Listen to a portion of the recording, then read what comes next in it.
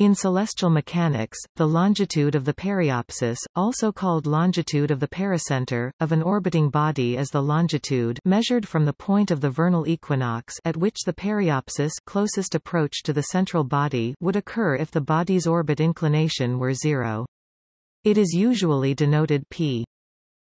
For the motion of a planet around the Sun, this position is called longitude of perihelion p, which is the sum of the longitude of the ascending node omega, and the argument of perihelion omega. The longitude of periapsis is a compound angle, with part of it being measured in the plane of reference and the rest being measured in the plane of the orbit.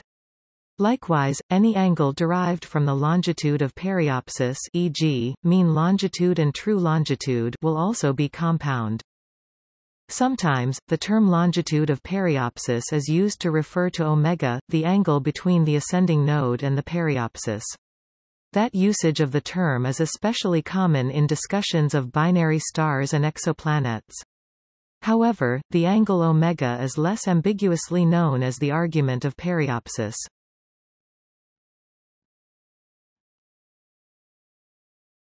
Topic: Calculation from state vectors.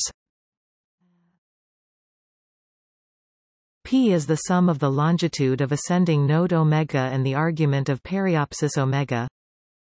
P equals omega plus omega display style varp equals omega plus omega which are derived from the orbital state vectors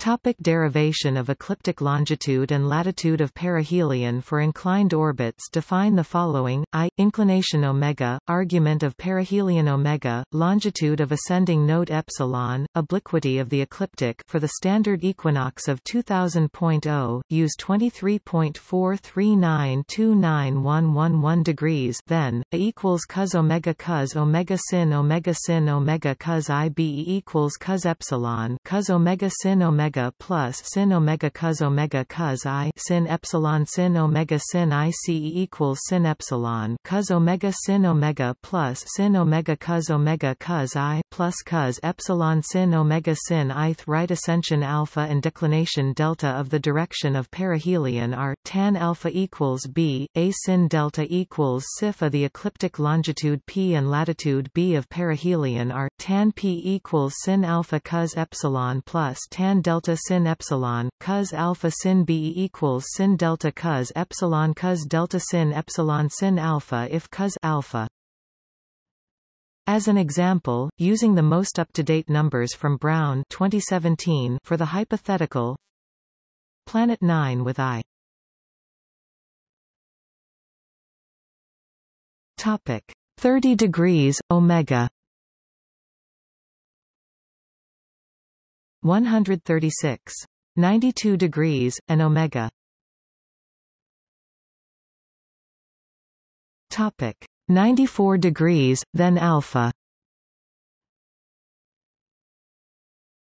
237.38 degrees, delta equals plus O. 41 degrees and